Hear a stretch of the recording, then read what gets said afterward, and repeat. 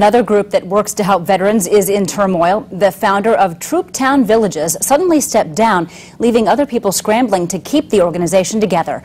News Channel 15's Kelly Roberts joins us with what the organization needs to keep going.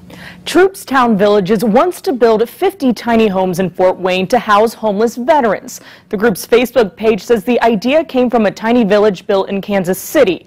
But now the founder stepped away from the group, leaving others desperately searching for a new director for it to survive. All of the text messages I have and the, and the Facebook messages are, Jim, you need to do this, you're the guy, I knew it from the day I met you. And, and I've got to tell you, Kelly, I, am not the guy. Jim Garrigan first met Matt Maple when he heard about Maple's project, Troop Town Villages.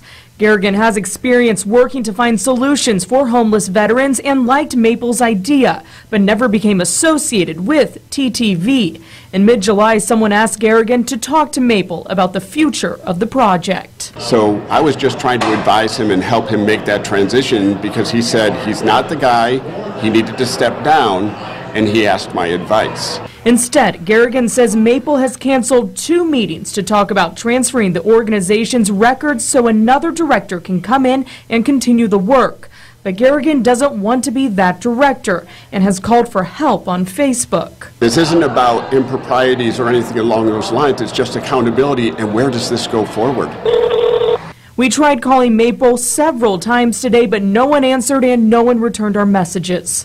Keep Rich Matt Maple with Troop Town Villages. Garrigan says TTV never became a 501c3 nonprofit or a tax exempt organization due to some legal mistakes filing papers. He believes there hasn't been any misuse of the funds. There's a lot of folks who donated. A lot of folks who want to see their dollars put to the work that they intended, and we just need to get a message to them that somebody's going to see this move forward. If you're interested in helping Troop Town Villages, contact them via Facebook. We have a link to that right now on WANE.com. Kelly Roberts, News Channel 15.